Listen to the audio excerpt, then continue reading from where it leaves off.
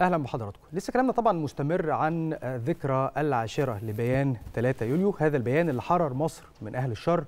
ذكرى هذا البيان اللي استردت فيه مصر قوتها ومكانتها وحريتها. عشر سنين على هذه الذكرى الغالية جدا على مصر كلها واللي بنحتفل بيها النهارده.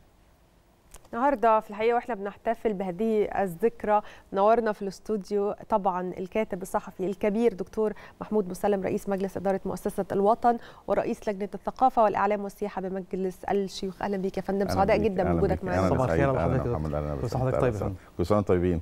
في ذلك الوقت وحضرتك طيب بألف خير. في ذلك الوقت حضرتك كنت أحد مسؤولي جريدة الوطن. استقبلت إزاي البيان؟ ووجهة نظرك أنت كيف كانت مصر قبل البيان وبعده؟ يعني طبعا مصر قبل البيان كانت متأهبة ومنتظرة وعندها أمل و... وعندها رصيد كبير من الرفض الإخواني من رفض الإخوان. وأنا بالصدفة لسه امبارح أنت عارفة الفيسبوك بيجيب الذكريات كده. فكنت كاتب إن الساعات القادمة ستحدد إما أن تضيع مصر للأبد أم نحتفل بالذكرى هذه مم. للأبد أيضا مم. فإما أن تضيع مصر أو نحتفل بهذه الذكرى فالحمد لله إن ربنا كرمنا وبقينا نحتفل بهذه الذكرى لأن فعلا مصر كانت على يعني كان في برضه هذا السيناريو آه الناس كانت بتطرحه إن إحنا ممكن كنا نضيع ممكن كان. يحصل آه يعني اقتتال ممكن يحصل حرب أهلية ممكن يحصل وخاصة إحنا مع آه تنظيم مش تنظيم سياسي ولا هو تنظيم ديني من وجهة نظري. هو تنظيم يستخدم السياسة والدين لكنه تنظيم إرهابي بجدارة. ف وإحنا شفنا اللي عملوه بعد الثلاثة سبعة. فكان يوميها منتظرين البيان والناس كلها مش عارفة ما حدش كان متخيل لأن حتى بعد كده اتقال لنا إن حصلت مناقشات في الاجتماع بتاع 3 7 هل يجرى انتخابات مبكرة أم يمشي مرسي نهائيا؟ ده كان كان محل جدل والشباب كانوا متمسكين إنه لازم يمشي نهائيا شباب تبرر. فما حدش يقدر يقول إن هو كان عنده علم بشيء. وحتى الرئيس في مرة من المرات اتكلم إن البيان لم يتطرق إلى الإخوان. لم يأخذ منهم موقف. بل بالعكس اللي أنا عارفه إنه الإخوان دعيوا بعد كده ودعيوا في هذا الاجتماع ودعيوا في اجتماعات أخرى للحضور وللمشاركه والحضور. لكن هم أبوا لأن هم كانوا مرتبطين بأجندة خارجية. كان هم في وقت من الأوقات من وجهة نظري الإخوان أدركوا إن هم رهانهم على الشعب خاسر. فكان رهانهم على الخارج إن هم يبينوا إن في انقلاب أو يحاولوا يبينوا إن في انقلاب أو غير ذلك. وبدليل إن لما حصلت أحداث الحرس الجمهوري حاجة غريبة جدا. أنت في مصر بتحصل أحداث فيطلع ناس من نقابة الأطباء يطلعوا يعملوا مؤتمر بالإنجليزي عشان يشرحوا إيه اللي حصل. طب أنت بتخاطب مين بالإنجليزي؟ بره. أنت بتخاطب بره. وأنا قلت قريب إن كان في تقرير طلعته الحكومة البريطانية سنة 2015 من ضمن ضد الإخوان وكانوا المفروض يكملوا عليه ما أعرفش ما كملوش عليه ليه. آه فمن ضمن الحاجات المآخذ اللي واخدينها على الإخوان إن خطابهم بالإنجليزي باللغة الإنجليزية غير خطابهم باللغة العربية. مم. يعني عصام الحداد كان يكتب حاجات باللغة الإنجليزية بيانات غير خطاباتهم. يعني خطاباتهم باللغة العربية تهديد ووعيد وخطابهم باللغة الإنجليزية ناس بتوع ديمقراطية ورؤاء يعني وعندهم رقة أو مظلومين وغير ذلك. طيب لكن هي كانت فترة بكل تأكيد صعبة وزي ما حضرتك ذكرت شعارات بيستخدموا هذه الشعارات. يعني مم. نتذكر قبل ما يوصلوا للحكم الاسلام هو الحل بعد كده ما بقاش فيه شعار الاسلام هو الحل رغم إن ده برضو شعار محطوط ليه بعض الناس تنخدع فيه. إزاي انخدع بعض فئات الشعب المصري وراء هذه الشعارات المزيفة ودلوقتي حالة الوعي الموجودة في الشارع المصري؟ بص الإخوان تنظيم صعب يعني تنظيم. هم اولا خلونا خلونا نعترف هو بيقدر ينجح كان بيقدر ينجح في الانتخابات وأنا كاتب ده قبل يناير يعني قبل يناير بكتير. وأزعم إني كتبت حتى على السلم الإيراني إنك هتطلع السلم بالديمقراطية وبعد ده قبل يناير قبل يناير بكتير. آه بعد ما تطلع السلم هتروح رامي السلم واخد بالك؟ هو إحنا وصلنا بالديمقراطية بس ما فيش ديمقراطيه بعد كده. آه وده اللي حصل. فالإخوان كان عندهم قدرة رهيبة على التغلغل داخل وجدان الشعب المصري. آه، زي ما حضرتك قلت بالدين إن طول الوقت يقدم نفسه إن هو الراجل ال- المتدين. أنت لو لو حضرتك تفتكر إن مثلا كل المظاهرات اللي طلعت آه، وقضى الإخوان في مصر في الفترة ممكن من الثمانينات لحد ممكن 2011 كانوا بيحرقوا العلم الأمريكي والعلم العلم الإسرائيلي في كل مظاهرة. أول ما وصل رئيسهم للحكم كان بيكتب عزيزي بيريز و- يعني يعني متع- وبيتعاملوا مع الأمريكان و وكان مرسي يطلع يقول لك أنا كنت بتفرج على آه، صباح الخير يا مصر أو صباح الخير Good Morning America يعني البرنامج اللي زيكم المطابق في أمريكا ويحسسك يعني إن هو إيه آه. آه لا لا إن هو يعني كان الراجل الثقافة الأمريكية بالنسبة لهم يعني ناس ف فكان حاجة غريبة جدا هم بي... بيستخدموا الدين هم الإخوان عندهم كذا حاجة. حتى دايما أنا كنت أراهن في الانتخابات البرلمانية 2015 و2020 هم مش هينجحوا لكذا سبب. السبب الأول كان في بعض الناس خايفة إن هم يبقى ليهم تواجد السبب الأول إن الإخوان كانوا بيستخدموا الدين الإسلام شعار الإسلام هو الحل. فإذا ما وصلوا للسلطة إحنا مرسي قعد سنة ما بناش جامع بالمناسبة يعني عشان الناس بس ما. ما حدش يتكلم. ما شفناش مثلا وده برضو مقال أنا كنت كاتبه الرئيس غير الزاهد.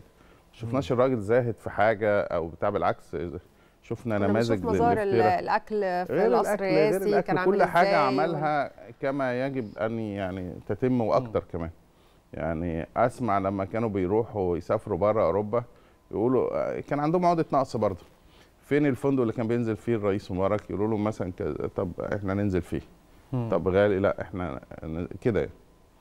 آه فأول حاجة الدين فإذا ما وصلوا للسلطة الناس اكتشفوا ان هم غير بقى موضوع الكذب غير موضوع ال- القتل غير يعني عملوا كل حاجة لكن ضد الدين. السنة دي كانت كاشفة بالنسبة للناس. كاشفة. الأمر الثاني اللي كان بينجح الإخوان من وجهة نظري هو تقديم نفسهم كفصيل مظلوم على مدى أكتر من 80 سنة ومضطهد وغير ذلك وبتاع. لما وصلوا للحكم الافتراء كما يجب أن يكون يعني نموذج ال- الافتراء كما يجب. ده النموذج الثاني والمصريين بطبعهم بي بي يعني بيتعاطفوا مع الم- المظلومين يعني. وهم عرفوا يسوقوا هذا ويتاجروا بيه على مدى سنين بشكل كبير يعني. الأمر الثالث من وجهة نظري إن الإخوان كان عندهم قدر من الجمعيات والخدمات اللي بيقدروا يقدموها للناس اللي الدولة غابت فيها. فيقدم بقى مستوصف يقدم آه، دروس يقدم آه، آه، سكر ورز وزيت وبتاع. فده برضو آه، اتمنع بعد كده. الأمر الأولاني خلينا أقول في الدين لازم برضو دايما أنا أحب أحيي الدكتور مختار جمعة وزير الاوقاف لأنه آه، لو ما سيطرش على المساجد والزوايا خلي بالك إحنا كان عندنا خطاب. في كل الصحف ضد الإخوان لكن هم يجوا في الزوايا يوم الجمعة والمساجد في الخطبة يستخدموها في السياسة يكسروا كل اللي اتقال في التلفزيونات. فلما تمت ال- ال- السيطرة وإن ال- ال- ال- المساجد أصبحت للدين فقط وليس لتنظيم سياسي أو غير ذلك. بجهد وزارة الأوقاف فهم فقدوا الكثير آه زي ما بقول لك الأمر اللي بعد كده كان عندهم إلى حد ما تنظيم قوي تنظيم سياسي تنظيمي. قوي يعني يعني يعني عندهم كوادر في كل حتة بتقدر تغطي عليهم رغم إن عددهم قليل يعني أنا مختلف مع الناس اللي بتتكلم على شعبية الإخوان الاخوان يا جماعة في النهاية لما نزل آه، مرسي في الانتخابات 2012 في الانتخابات الأولى خد 5 مليون صوت ده أقصى قوة مم. للإخوان يعني مم. أقصى قوة ب- كمان ناس مش من الإخوان لكن آه متعاطفين آه متعاطفين, آه. وناس يعني فده كان أقصى لكن هم في يعني في في وقت قدروا إن هم يضحكوا على التيار المدني قدروا يستخدموا التيار المدني والنخبة اللي لسه كاتب مقال عن ال- الجماعة الخائنة والنخبة الخائبة النخبة اللي. قعدت تصدر الإخوان إن هو فصيل سياسي وإن هم كويسين وإن هم هنديهم فرصة وإن هم وما قروش جرايمهم في الخمسينات والستينات ويعني وجرايمهم حتى في في الدول الثانية مفيش مفيش وطن مفيش دولة الإخوان فيها وعمرت. شوف نموذج حضرتك تونس شوف نموذج ليبيا شوف نموذج سوريا. مفيش دولة الإخوان فيها والدولة عمرت. دايما هم شوكة في ظهر الوطن لأن. هم عندهم أجندة مختلفة تماما. ف... فكل ده حصل الناس استوعبت في سنة. الحمد لله يعني من كرم ربنا علينا الناس في سنة شافت كل ال- الفيلم ال- اللي الناس. عمالة تعمله بقى لها عشرات السنين شافته في سنة مختلف تماما فعشان كده الشعب المصري قرر بإرادة وشفنا ال ال ال ال الموجة آه، يعني الكبيرة اللي حصلت من الناس ممكن ده أكبر نزول ممكن في. تاريخ مصر. ال- الملايين. يعني إحنا بن- بنتكلم كمان عن يمكن بعد ما السنة دي يعني كانت فعلا كاشفة ابتدت تظهر حركة زي تمرد. آه، عريضة بيمضي عليها المواطنين وشفنا إقبال كبير جدا من المواطنين. أنا أنا ساعتها كنت لسه في الجامعة وأنا فاكرة كنت اخد الحاجات وأوديها لأهلي ونقعد وكلنا نقول لبعض عليها لكن هي ظهرت الشرارة بتاعتها الأولى من عندكم من جريدة الوطن. احكي لنا عن آه، اهتمامكم آه، بتوصيل هذه الحركة لجموع الشعب المصري بص إحنا في الوطن كان لينا حظ أو لينا نصيب إن إحنا نطلع قبل في أثناء الانتخابات الرئاسية إحنا طلعنا مم. 29 إبريل مم. 2012 وكان في زخم آه، سياسي كبير وطبعا عشان الإخوان آه، عارفيننا عارفين هيئة التحرير وعارفين الكتاب اللي فيها فكانوا واخدين مننا موقف من قبل ما نطلع. وطبعا لما طلعنا الموقف زاد لأن كان موقفنا واضح يعني. أزعم إن إحنا كان آه، خطنا ضد الإخوان واضح بشكل صريح من أول يوم. وهم أدركوا ده وعملوا علينا حملات تشويه رهيبة يعني. آه، حرقوا مقر الوطن مرتين آه، اتحطينا على قوام الاغتيال يعني عملوا حاجات كتير جدا. ف وحملات تشويه بقى كان عندهم social media ومواقع وجرايد يشتموا فينا يعني يعني لا وكانوا مترصدين لحضرتك بالمرصاد. يعني فاكرة إنه كانوا بيشوفوك فين على قناة إيه ويطلعوا يحاولوا يكذبوا اللي أنت بتقوله. آه يعني طبعا هم كان أنا بيني وبينهم يعني تاريخ زي ما بقول لك أنا من قبل يناير وأنا أكتب عليهم إن هو فصيل ظلامي يعني مم. يعني فصيل مش مش فصيل سياسي لأن أنا شفتهم في مجلس الشعب أنا كنت محارب برلماني شفتهم في مجلس الشعب بيديروا الدنيا إزاي. كان عندهم والكلام ده أنا كتبته كان عندهم صفقات مع رجال أعمال كان عندهم صفقات مع نظام طول الوقت كان عندهم حسابات ما, ما عندهمش حاجة اسمها يعني زي ما الناس متخيلة وكانوا يروحوا يعني الناس كانت بتنتخبهم عشان هم ناس طيبين بيروحوا المسجد. لكن لما بيجوا الانتخابات بيمارسوا كل أبشع أنواع السياسة من مم. أول الابتزاز والخبط وصفقات كل حاجة كانوا بيعملوها ده طبعا نوعية البلتاجي اللي هدد المصريين كلهم كلهم كلهم كلهم. هو فصيل منغلق ما عندوش من جوه يعني حتى أنا فاكر عملوا مرة انتخابات ف فمحدش شاف فينا حاجة هم كان عندهم حاجة في الانتخابات يقول لك إن طالب الولاية لا يولى فال... فالكل مرشح والكل منتخب يعني مفيش حد يرشح نفسه مم. هم يعني يعني طب إزاي يا جماعة؟ ما فيش. وبعدين. في النهاية اللي هم متفقين عليه هو اللي, اللي بيجي لهم بيه التوجيه هو اللي بيعمل. لكن هم عايزين يبينوا للناس إن هم ديمقراطيين. طب إزاي ديمقراطيين؟ وكل مرشح والكل منتخب. فالمهم إحنا في الوطن من أول ما طلع التمرد كان معانا الدكتور محمود خليل كان مستشار الوطن وكان من أول الناس اللي لفت نظرنا لقصة التمرد. يا جماعة القصة دي هتبقى قصة يعني كبيرة ولازم. وكان طبعا موجود الاستاذ مجدي جلال رئيس التحرير والزملاء مديرين التحرير وكان في يعني موقف واضح لتمرد. ومن أكثر الصحف اللي اتنشرت عن تمرد وكان معانا زميلنا أحمد غنيم كان هو ال- اللي بيتابع تمرد. فدايما أحمد ده حتى أحيانا كنا بنجيب استمارات ونديها له يعني مم. يعني نمضي استمارات من قرايبنا ونجيبها له يعملها. ف وأنا حتى ليا واقعه قبل الثورة بأسبوع كنت في بورسعيد آه، زرت بورسعيد كنت أنا وأسرتي يعني رحنا كام يوم كده بورسعيد قبل أول الثورة يمكن ب 10 أيام. فاتبسطنا قوي لأن أنا دايما أقول بورسعيد دي ترمومتر الوطنية يعني. تقدري تاخدي منها. المؤشر. آه دايما هم في في المقدمة ناس وكان ليهم دور كبير في الثورة. إحنا فاكرين أيام ما رفضوا الاعتصام و... ورفضوا حاجات كتير. المهم فأول ما دخلنا بورسعيد أول حاجة لقيت تاكس معلق صورة مرسي وعليها إرحل وإكس وبتاع. فانبسطنا جدا. ساعتها كان الواحد برضو بكلم ناس في المحافظات بنستقرأ. آه، قد إيه هينزلوا قد إيه هيجوا القاهرة وقد إيه يعني آه في حالة رفض بس إزاي الأمور هتتنظم مم. فالمهم كلمني ساعتها أو أنا كلمت بدر فرغالي الله يرحمه ورحت قعدت معاه على عنده مقهى كده اسمه مقهى سمارة آه هناك فالمهم وكان معانا الأستاذ حمدي زميلنا من ال- من المصري اليوم فرحنا المهم رحنا قعدت معاه فقعد يحكي لي قال لي بص الناس هنا بتتزين كأنه عيد. الولاد بيجيبوا اللبس وبتاع وإحنا يعني. طالعين. وبعدين قال لي أنا عايز منك طلب. قلت له قال لي عايزك توصل استمارات تمرد. أنا معايا مش عارف كام ألف استمارات تمرد. عايزك أوي. توصلهم للقاهرة. قلت له ماشي قوي قوي آه قال لي قلت له- مديهم لمين؟ قال لي الاستاذ سيد عبد العال. قلت له طب كويس يا أستاذ سيد عبد العال صديقي أودهم له. فالمهم خدتهم حتى ساعتها العربية ما كانش فيها بنزين. إحنا يا دوبك كنا إيه يعني رحنا بالعربية وحطيناها ما اتحركناش بيها عشان محافظين على الشوية دول. مم. نرجع بيها فالأسرة يقولوا لي طب يعني إحنا دلوقتي معناش بنزين ومعانا ثمرات تمرد ومعانا. ورجعنا سلمناهم. ال- المهم إن إحنا في الوطن كان لينا موقف في التمرد وكان آه، لينا موقف معاهم يعني وكنا مايلين ليهم لحد ما ربنا يعني آه، بعتبرها يعني آه، طبطبة من ربنا علينا أو هدية من ربنا لينا إن إحنا يكلمني النائب الجميل الأخ العزيز محمد عبد العزيز أنا كنت برضو بتابعه على الفيس واقعد أبعت له على الماسنجر مم. طمني عليك وبتاع لأن هم بصراحة كانوا بيطلعوا ينزلوا محافظات وبيروحوا حتت يعني كتيرة جدا وبيتحركوا حركة آه، كبيرة فالمهم قال لي كلمني يوم 2 7 قال لي إحنا مش لاقيين مكان نعمل فيه مؤتمر صحفي عايزين نعمل مؤتمر صحفي بكرة عشان نحفز الناس إن هم يستمروا في الميادين ما حدش يرجع. و... وعايزك تتدخل تشوف نعمل لنا في نقابة الصحفيين أو نعمله فين وبتاع. قلت له طب ما تيجوا تعملوه في الوطن. عظيم. قال لي لا آه قال لي يا ريت بس افرض الإخوان هاجموكوا. ما إحنا خلاص بقى بقينا كنا يعني. مسجلين هجوم إخوان حرق, واضحة حرق يعني. المقر. آه. فقلت له ننزل نعمله في الشارع.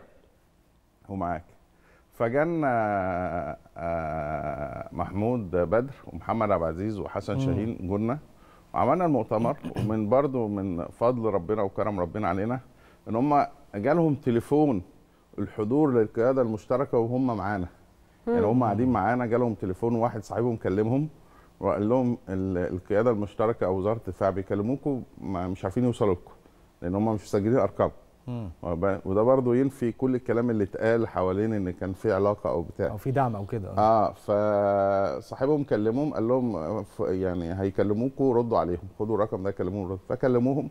وبعدين يعني برضو ما كانوش عارفين فين القيادة المشتركة دي. واخد بالك؟ فقعدنا وصفنا لهم. و... وراحوا وصلوا وقعدنا بقى إحنا مستنيين. إحنا قعدنا الإخوان بقى يشتمونا. إحنا طلعنا بالمؤتمر.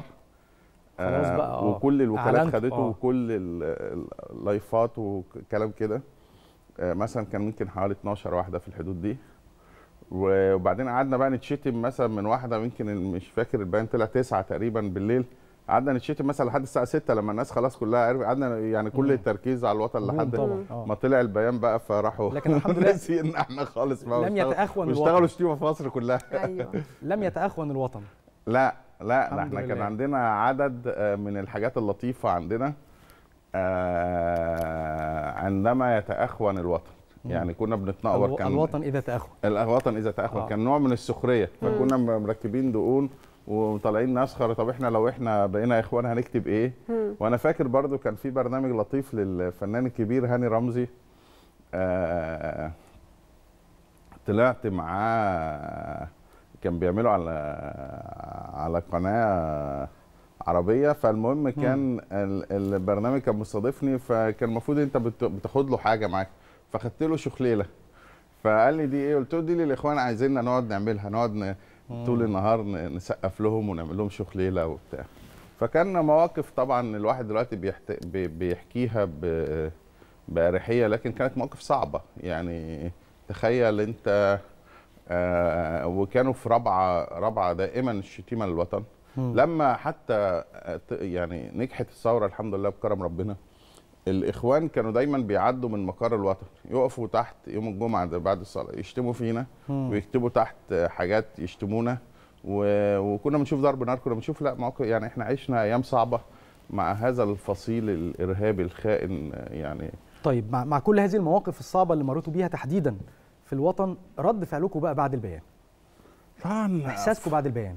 بص يعني فرحة كبيرة. يعني خلي بالك أنا برضو فاكر في الوقت ده الواحد كانت مثلا أجي الجورنال وأنزل أروح آه، مثلا يستضيفوني في برنامج وأرجع تاني وبتاع. وبعدين آه، فرحة كبيرة و- وترقب وبرضو يعني آه، خوف على المستقبل لأن ده فصيل يا جماعة اللي حصل في ثورة 3 يوليو أو في ثورة 30 يونيو ده مش سهل. الناس اللي مقتنعة إن ده سهل لا مش سهل. أنت أنت أنت أنت أنت ساعتها أمريكا ما كانتش كانت يعني كانت مؤيده الاخوان آه، كان المجتمع الدولي أنا فاكر إن إحنا يعني أنا شخصيا سافرت بعد 3 يوليو كذا دولة أوروبية وبتاع. كان لا لا كان في آه، رفض كبير. وكل الناس اللي الناس اللي بتتكلم على الإعلام كل الناس اللي كانت مسافرة بره أنا أعرف حد يعني شخصية مصرية عظيمة. يقول لي أنا كنت بتابع ال- الإعلام الدولي آه، أسمع حاجات أكلم أهلي أسمع حاجات تانية خالص. بقيت يعني مم. يعني يعني أهلي أكلمهم أنتوا فين؟ إحنا في الميادين في قد إيه ملايين؟ آه، أسمع الإعلام الدولي بيحكي في قصة تانية خالص. فحصلت عملية تضليل وحصلت عملية أنت يعني 30 يونيو إرادة مصرية خالصة. مش عايز أقول آه، ضد الإخوان ضد الإخوان وضد كثير من دول العالم. آه، اللي الإخوان حاولوا يسوقوا لهم إن ده انقلاب عسكري مش مش إرادة شعبية والإخوان كانوا آه، إلى حد ما نافذين في مصادر ال- في الصحف بشكل أو بآخر وبيعرفوا يضغطوا يبعتوا إيميلات ويبعتوا. يعني يعني. عندهم طرقهم في كده إحنا يمكن عايزين نتكلم أكتر عن كذب الإخوان صرفوا فلوس كتيرة جدا عشان يوروا العالم كله إنه في مظاهرات مضادة وفي الحقيقة ما كانش في ده موجود تماما. وبرغم ده كان في وعي كبير قوي لدى آه، الشعب المصري. فعايزين نعرف أسباب ده إيه والوعي ده كان عند المصريين ليه؟ لكن هنروح لفاصل وبعدها نرجع نكمل مع حضرتك آه، دكتور محمود مسلم رئيس مجلس إدارة مؤسسة الوطن ورئيس لجنة الثقافة والإعلام والسياحة بمجلس الشيوخ. خليكم معنا مشاهدينا نرجع بعد الفاصل.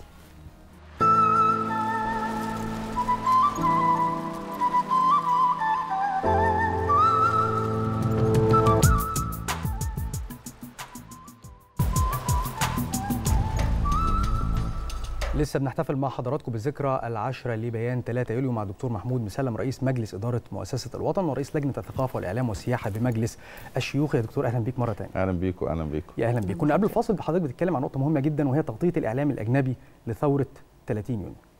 إزاي قدر الإعلام المصري في هذا التوقيت إنه يوضح حقيقة الأمر سواء في الداخل أو في الخارج ويتصدى لكل هذه المحاولات؟ بص يعني خلينا نقول برضو نحط الأمور في حجمها الطبيعي لأن أنا مش مع بعض الناس اللي بيقول لك إن الإعلام المصري قام بالثورة. الإعلام المصري ما قامش بالثورة. الإعلام المصري آه، يحسب له آه، وسيكتب له التاريخ إن هو قدر يعبر بشجاعة عن غضب المصريين في الفترة دي. يعني يعني مع إن كم الإرهاب وكم التهديدات وكم الوعيد وكم اللي يتحمله الإعلام في الفترة دي أو الإعلاميين أو الصحفيين كان كم كبير يعني لا تتخيل.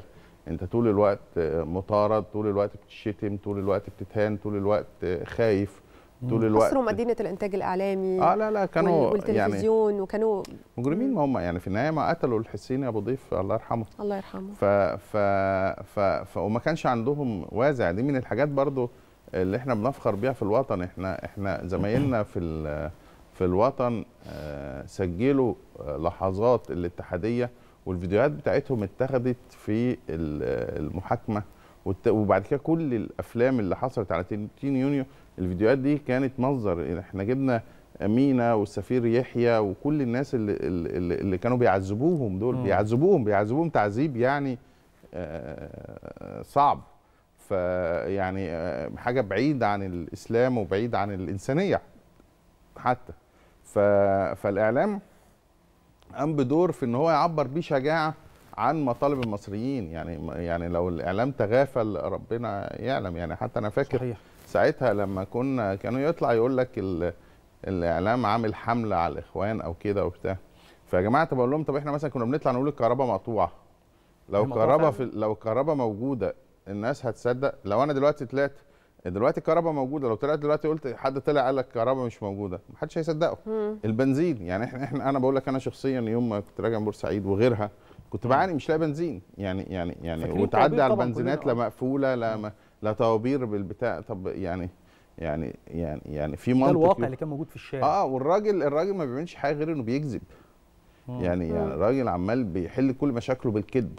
والكذب ده يعني سمة صعبة لأن اللي بيكذب يعني اللي بيكذب ده يقتل ويخون ويعمل أي حاجة لأن الكذب يعني يعني حتى لما طلع مثلا في الخطاب بتاعه الشهير وبيحكي على إن مشكلة الكهرباء في ال 20 جنيه اللي بياخدها الرواد اللي مش عارف إيه العامل آه. فتفهم إن مفيش حل. للمشكلة. يعني هنيجي السنة الجاية مفيش حل لأن. خلاص إحنا اختزلناها في كلام أهبل. إيه ال- ال- ال- السكينة والكلام ده. آه، آه، استهدافه لأسماء معينة. آه، آه، حتى يعني يعني يعني أنا برضو فاكر إن أنا في زي اليومين دول برضو من 10 سنين كده كتبت على الفيسبوك إن أكبر داعم للتمرد هو مرسي نفسه. يعني الراجل كل ما بيتكلم أو بياخد قرار الناس. بتزداد غضب لأنه أكبر داعم لتمرد هو أكبر داعم لتمرد ف... فكانت عملية كانت أيام صعبة. الإعلام زي ما بقول لك لعب دور و... و... و... وأنا أشعر إن في الفترة دي ممكن وبعدها بسنتين كمان كان في نوع من الامتنان من الشعب المصري كنا نشعر به في الشارع يعني مم. يعني الناس لما تقابلك عندهم نوع من الامتنان إن إن إن الإعلام لعب دور مهم مش صحيح. قام بالثورة لعب. دور في التعبير بشجاعة عن غضب المصريين صحيح وكان في استهداف كمان تحديدا لتلفزيون الدولة الرسمي وكان في تدخلات كتيرة جدا في حاجات كتيرة في يعني أنا التلفزيون آخر حاجة. كنت ممكن أتخيلها إن صلاح المقصود ده يمسك وزير إعلام مم. صلاح ولا صحفي بارع ولا أي كادر بارع ولا يعني يعني. هو راجل نقابي بس لكن يعني يعني يعني ما عندوش أي فكرة عن أي حاجة فما ما, ما كنتش متخيل هم هي فكرة ودي برضو القصة ان, إن الثورة خلت مصر المصريين هو مم. كانت آه، الإخوان هي مصر الاخوان يعني مم. أنا فاكر آه، ال ال ال ال لا كانوا بيعملوا حاجات وكأن مم. البلد بلدهم وكأنهم قاعدين وده الكلام اللي قالوه قاعدين 500 سنة وقاعدين 200 سنة بتجبر غير طبيعي مم. يعني وبعدين آه، أنا بقول لك أنا كنت بغطي مجلس الشعب آه، في الفترة ما قبل 2011 وكنت أعرف معظمهم. يعني يعني معظم الكوادر اللي أنت شايفها نعرف لا لا هم تغيروا حتى على المستوى ال ال ال تغ- يعني تغيروا تماما. وبعدين حتى مثلا النواب اللي هم كانوا معاهم مستقلين كانوا هم بيلموا على النواب المستقلين بعد وهم قعدوا مشوا مراحل. أول ما وصلوا؟ أول ما وصلوا اختلفوا مع كل الناس.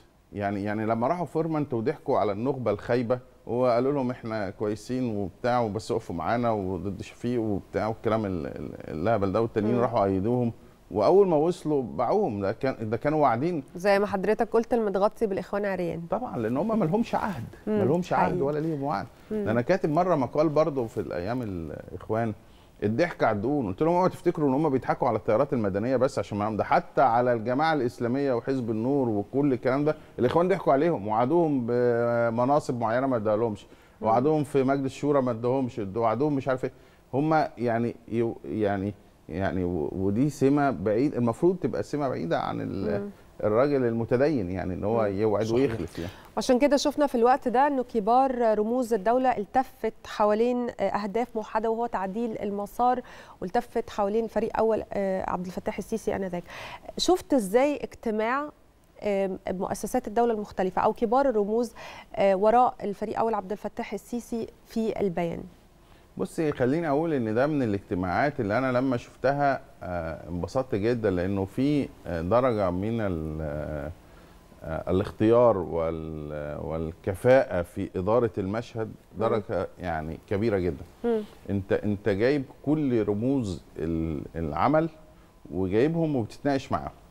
ومش مش ما ما كانش فيه وفقا لشباب تمرد ما كانش فيه آه مش بيان رايحين يصوتوا عليه لأ ده مناقشات اسفرت عن هذا البيان وحتى تم دعوة سعد الكتاتني في آنذاك آه. رئيس حزب العداله آه، دعا وما راحش ف... وكان. في حزب النور عشان الناس ما تقولش إن هو كان ضد الإسلام كان في البابا توادرس كان في الدكتور أحمد, أحمد الطيب. آه، كان في رئيس المجلس الأعلى للقضاء كان في قيادات القوات المسلحة كان في شباب تمرد كان في جبهة الإنقاذ ممثل ليها الدكتور بلدي فكل الأطياف موجودة وكل مم. الناس أجمعت آه الإخوان يا عيني كانوا مش مصدقين ولا يعني مستعبطين ولا مم. تفهمهمش يعني يعني أنت شايف كل دول وبرضه آه طالع تكذب وطالع تنكر يعني أنا فاكر شفت لهم تصريحات آه قبل الثورة بأيام بسيطة فكان يقول لك إن ال- ال- الثورة دي مش هتخرج خارج الشاشات خارج مم. مدينة الإنتاج الإعلامي يا سيدي خارج يعني كانت أنا أنا خلي بالك الثورة دي كان يوم الاحد يوم الجمعة كان في التحرير في أعداد كبيرة جدا ملايين. تدل على إن في يوم ال- الحد هيبقى أكبر من كده. أنا فاكر ال- ال- ال- الميدان اتملى. آه إحنا آه. شايفين يمكن الميدان الميدان اتملى الظهر يوم الحد. خد بالك؟ أنا أنا كاتب ساعتها bye bye مرسي يعني يعني خلاص الدنيا الدنيا واضحة تماما. انتهى وهم صح. وهم وهم مش قادرين يعني- يصدقوا. آه لدرجة إن بعد خطابه الأولاني كتبت على الفيسبوك برضو فأخشيناهم فهم لا يبصرون. هم يعني يعني مش شايفين أو هم خلاص مراهنين وقاعدين بره بحاجات فمش قدامهم. وخلينا نفتكر برضو ال ال وحضرتك بتتكلم على الإعلام الدولي الموضوع اللي عملته الجارديان الجارديان واخده واخدة آه حوار خاص من مرسي يوم 30 6 والحوار الخاص إحنا كلنا فاهمين ما بيتاخدش إلا لحد قريب منك يعني في موقف زي ده لأن ده سبق فظيع. تاني يوم كتبوا على لسان مساعد رئيس جمهورية رفض ذكر اسمه وغالبا عصام الحداد أن الشعب أن الجيش لن يستطيع أن يتحرك لأن الجيش مرتبط بأمريكا وأمريكا لا توافق على عزل مرسي. كده. حتى أنا. كتبت ساعتها مقال مم. في معنى الخيانة العظمى. ما كانش ده خيانة عظمى. يعني بص هي بيجهروا رهانات بيها كمان. هي دي رهاناتهم هي دي رهاناتهم إن الجيش مش هيتحرك لأن أمريكا مساعداهم. يعني ف ف ف فدول دول ولا درسوا جيش. هم هم يعني ليسوا من النسيج المصري. يعني يعني يعني عشان كده آه، ما, ما- ما تألفوش مع المصريين مع هويه هم طول الوقت كده تحس إن هم لوحدهم لوحدهم فعلا. آه. فهم بس يضحكوا على المصريين لكن ما اندمجوش فيهم. يعني إزاي الجيش يعني الجيش يسمع كلام أمريكا ومش هيسمع كلام الشعب؟ طب يعني طب هيقعد. إزاي؟ يعني يعني في منطق يقول كده. طيب إزاي أثبتت هذه الثورة؟ آه، قدرة الشعب المصري على تقديم مصر طبعا بعد التفاف الشعب حول القيادة الموجودة في هذا التوقيت قدرة الشعب المصري على آه، إعادة مصر إلى مكانتها العربية كقائد عربي وكقائد إقليمي وكقائد أيضا أفريقي ويتم التنسيق معها دائما في الأحداث المتعلقة بقضايا المنطقة مع الأطراف الدولية. بس خلي بالك الموضوع ال- العزلة الدولية دي خدت يمكن سنة أو أكثر. وأنا فاكر إن مثلا الرئيس عبد الفتاح السيسي في أول سنة لما راح نيويورك في الأمم المتحدة كان بيدافع عن الثورة المصرية وعن موقف المصريين وعن حق المصريين. إحنا قعدنا ده سنة أو سنتين. لكن بعديها آه، اللي حصل ان إن كلمة الرئيس لو حد يعمل تحليل مضمون برضه في ال في اليو إن أو في الأمم المتحدة كان هيكتشف إن هو خلاص ما بقناش نتكلم على الوضع في مصر. مصر بقى بتتكلم على الوضع في سوريا الوضع في اليمن بعد. كده ليبيا يعني يعني يعني وضحنا خلاص الصورة بقى لينا بقى لينا دور ولينا تأثير. وخلينا دايما أنا أتذكر إن مثلا الخليج كان مع فكرة الحل العسكري في سوريا. ومصر كانت من بدري الرئيس السيسي من بدري كان يتحدث عن الحل السياسي ويتحدث عن الإرادة الشعبية وعدم التدخل في الشؤون الداخلية للدول. آه إحنا عدى سنين إحنا الرئيس السيسي بيتكلم في الموضوع ده من بدري عدى سنين ودلوقتي كل الناس بتتكلم عن الحل السياسي محدش خلاص الحل العسكري ده ما يكونش تخيل بقى لو كان الحل الع- العسكري ده اتنفذ ساعتها كان زمان صحيح. سوريا برضو يعني يعني وضعها آه، آه، امنيا يعني أسوأ من الوضع الحالي اللي مم. موجود فأنا لسه برضو راجع من العراق يعني آه، الوضع برضو يعني آه في تحسن وفي لكن الوضع صعب. الناس لو تشوف ال- البلاد دي آه، بعض الناس يقول لك أنتوا كل شوية هتقعدوا تقولوا سوريا والعراق. آه يا سيدي مش نماذج موجودة. صحيح. مش نماذج كانت بتحلم. مم. مش نماذج كانت بتحلم والناس باعوا لهم الوهم إن إن هو ده التغيير وهو ده ال ال الإرادة وهو ده يعني يعني هل هل هم وصلوا للي هم عايزينه؟ هل هل وصلوا للهدف اللي, كانت الناس بتبيعها لهم؟ ما وصلوش. ما ده برضو اللي كان بيتقال بيتقال في يناير وما بعد يناير إن أنتوا خلي بالكم أنتوا هنبقى ما- مش الإخوان باعوا وهم النهضة للناس. فهم متخصصين في بيع الوهم يعني. مم. لكن ما, ما حصلش حاجة. ما, في حاجات يا جماعة على الأرض بتتشاف. مم. يعني واحد عايز يديني مشروع نهضة ومش عارف يحل مشكلة الكهرباء. مش عارف يحل مشكلة البنزين مفيش مشكلة تصدى ليها وحلها. وكل أموره مؤامرات وخزعبلات ومفيش حاجة ممسوكة. مم. حضرتك يعني يمكن تقدمت بمقترح يلزم بعدم التعامل مع الإخوان. ات- تقدمت بالمقترح ده في الحوار الوطني. هل أصلا يعني هم بيفكروا تقوم لهم قومه مرة تانية؟ هم شايفين إن ممكن يحصل ده مرة تانية؟ بس الإخوان مش هيبطلوا لأن هم كمان عندهم تمويل دولي وعندهم أجندة دولية فمش هيبطلوا ما بقاش عندهم حاجة كمان يراهنوا عليها فمش مم. هيبطلوا. هم ال- الفرصة التاريخية اللي جات لهم لما دعاهم ال- الفريق أول وقتها عبد الفتاح السيسي لحضور ال- الاجتماعات وما حضروش وما جوش وبعد كده بدأوا الإرهاب موجة الإرهاب اللي إحنا عارفينها فما بقاش عندهم حاجة يخافوا عليها لكن هم كل هدفهم دلوقتي إن هم يدمروا البلد. إحنا شفناهم أيام الكورونا كانوا بيدعوا الناس يقولوا لهم انزلوا يعني يعني يعدوا الناس امشوا وسط الناس ووعدوا الناس يعني ناس فقدوا إنسانيتهم حتى يعني هم فقدوا أخلاقهم وفقدوا آه، حاجات كتير. لكن فالإخوان مش هيبطلوا وبالتالي هم طول الوقت عمالين يعني مؤامرات وإشاعات وعبث وبيحاولوا يتواصلوا مع ال- القوى السياسية في مصر. فلازم كمان القوى السياسية تنتبه. الإخوان يا جماعة مش فصيل سياسي مرفوض. الإخوان فصيل إرهابي. لازم تتعامل. معاه على هذا النهج. ما تقعدش بقى. تقول أنا بتواصل معاه تتواصل معاه إيه؟ أنت بتتواصل مع إرهابيين؟ يعني يعني بتتواصل مع إرهابيين. هل هل ال- أنت مش نزلت في 30 يونيو؟ مش كل القوى السياسية دي نزلت في 30 يونيو عشان ترفض الإخوان؟ أنت دلوقتي بت بت بت وبعد 30 يونيو بقى الحاجات اللي حصلت. طب أنت دلوقتي بترجع ليه تاني؟ ترجع ليه تاني؟ صحيح تتواصل معاه متورطين وبعدين. يرجع الناس الشباب يتواصلوا. يتقبض عليهم بتهمة التواصل مع تنظيم محظور. يرجع نقول لك عايزين عفو. هنقعد بقى في الدوامة دي لإمتى؟ طب ما خلاص يا. جماعة نعمل ميثاق شرف إن ما فيش تواصل مع الإخوان. هو الإخوان أو حد لسه دلوقتي بيتكلم على إن الإخوان فصيل سياسي معارض؟ لا الإخوان فصيل إرهابي خائن. عايز تبقى معاه يا سيدي؟ خلاص يبقى معاه بقى تحمل. ما تجيش بقى كل شوية نقعد نعيد ونزيد نعيد ونزيد. فنفسي حتى الحوار الوطني يدرس هذا الأمر إن يبقى في توافق حوالين إن ما فيش تواصل مع الإخوان. لما يجي. لما يجي بقى حد يتواصل مع الإخوان ويتحبس ما حدش بقى يقعد يقول لنا مش هنعيش حياتنا كلها نعمل عفو وبتاع يعني ما هو ده ملف آه يعني الحمد لله مشي واللجنة ماشية طيب. و وناس كتيرة طلعت والحمد لله وكله لكن خلاص أعتقد. كمان يا دكتور بس مش هنعيش حياتنا كلها كده بقى حقيقي. في حالة كبيرة من الوعي دلوقتي عند الناس ودي ظاهره بكل تأكيد لانهم خلاص لفظوا هذه الجماعة من اللي شافوه خلال هذا ال- ال- العام لأنه كان عام صعب جدا على كل الناس آه، دلوقتي حالة الوعي اللي موجودة على الناس حضرتك شايفها إزاي وأهميتها؟ وسؤال مهم جدا ماذا لو لم تنجح هذه الثورة؟ لو لم تنجح هذه الثورة كان زماننا كلنا في السجون. كان زمان مصر دلوقتي رجعت لعصر آه، ال- ال- اللمبه الجاز وال, وال حقيقي. وحتى ما أعتقدش الكشافات. آه، كان زمان آه، القرار بيطلع من دول تانية ما بيطلعش من مصر. يعني الاستقلال مصر ده كان هيبقى وهم كان القرار هيطلع من دول تانية. وإحنا الموضوع ده عندنا حساس جدا.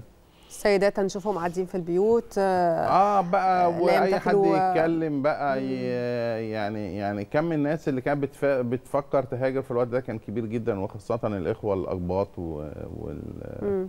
والمسلمين أيضا لأن كان ما فيش ما, كانش فيه حريات ما كانش هيبقى فيه تنمية ما بيعتمدوش على الكفاءة بيختاروا اللي هو تبع حقيقي. الجماعة ما بيعتمدش على الكفاءة ما فيش ما شفناش كفاءة نادرة منهم في أي مجال مم. آه وكان زماننا عمالين بقى نسمع خطابات ال- الدجل والشعوذة والحق المؤامرة والحق الواد اللي قفل السكينة والحق ال 20 جنيه والحق ال 80 جنيه والحق مش عارف مين يعني كلام كلام يعني يعني من ضمن الحاجات اللي اللي كانت تسر هذا الفصيل الفصيل يعني والله غريب جدا الفصيل ده اللي كان قبل يناير كانوا يتحدثوا على إن الرئيس مبارك هو أب لكل المصريين ودي تصريحات رسمية موجودة.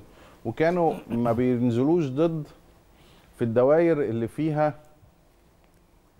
قيادات ال- النظام. يعني مم. مثلا الدكتور سرور مثلا بتاع ما كانوش بينزلوا يعني ضدهم في الانتخابات. فيجوا بعد الانتخابات أنا أنا شفت حوار لمرسي مع عماد أديب تقريبا في CBC فبيجيب له صورة مبارك. قال له إلى مزبله التاريخ. يا عم انت أنت جايب الشجاعة دي منين؟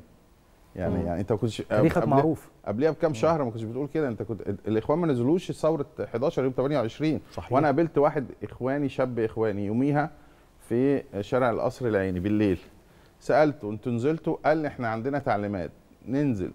فرادى ما ننزلش بتاع. وما نرفعش شعارات دينية. مم. وننزل فرادى اللي عايز ينزل ينزل لكن ما ننزلش بتوجه. مستنيين نشوف الدنيا رايحة آه فين حتى حتى حتى الدكتور سعد الدين إبراهيم كنت عملت مرة معاه حوار فكان بيقول الأمريكان كانوا بيتابعوا من ضمن متابعتهم إن الشعارات بتاعت الثورة شعارات دينية وشعارات فيها ضد إسرائيل ولا ضد إيه ولا بتاع كانوا عايزين يعملوا الأمريكان بيعملوا تحليل للشعارات؟ فتحس إن الأمور يعني إيه بقى كان فيها توافق يعني دكتور محمود أنا قبل ما نختم حلقتنا النهارده عايزة أسألك سؤال سريع جدا جدا بعد عشر سنين. لو هتلخص اليوم ده لبنت حضرتك هتقول لها إيه؟ الله مصر فاقت مصر انتصرت. مم. مصر الشعب المصري شعب عظيم. ده من من يعني من أجمل الأيام على الشعب المصري. و ولو ما كانش اليوم ده يعني الله أعلم يعني هم الحمد لله إن هم كانوا صغيرين بس نزلوا يعني فشافوا اليوم ده ف... الحمد لله آه، الحمد لله كانت أيام صعبة. آه، طبعاً ده يوم- مرينا يوم بيها. يوم يوم يوم يوم والله يعني مجرد إن أنا بس وأنا جاي كده ومعتصم كان بيأكد عليا والواحد عمال يفتكر الذكريات فالواحد بينتعش يعني بتحس إن في وجبة وطنية في دفعة شحنة وطنية كبيرة لمجرد إن الواحد بيفتكر الذكريات حتى بما فيها مساوئها من الإخوان. إحنا ما كناش عارفين نعيش. إحنا. آه ال- البلد ما فيش ال... أنا مرة رحت ناحية سميره ميس كده الدنيا ضلمة وسودة وتقريبا كنت رايح أزور واحد صاحبي تقريبا كان هو الوحيد اللي نازل في الفندق. يعني يعني ف نشكرك كاتب. الصحفي دكتور محمود مسلم رئيس مجلس إدارة مؤسسة الوطن ورئيس لجنة الثقافة والإعلام والسياحة بمجلس الشيوخ شكرا لوجود حضرتك معانا أستاذ كبير. آه، وجودك يعني آه، أكيد آه، زودنا معرفة الله بحاجات كتيرة قوي يخليك. مع حضرتك أحداث آه، آه، هذا اليوم آه، العظيم آه، اللي مصر تخلصت فيه من هذه الجماعة الإرهابية شكرا ليك مرة شكراً. ليك يا دكتور. شكراً شكرا جزيلاً.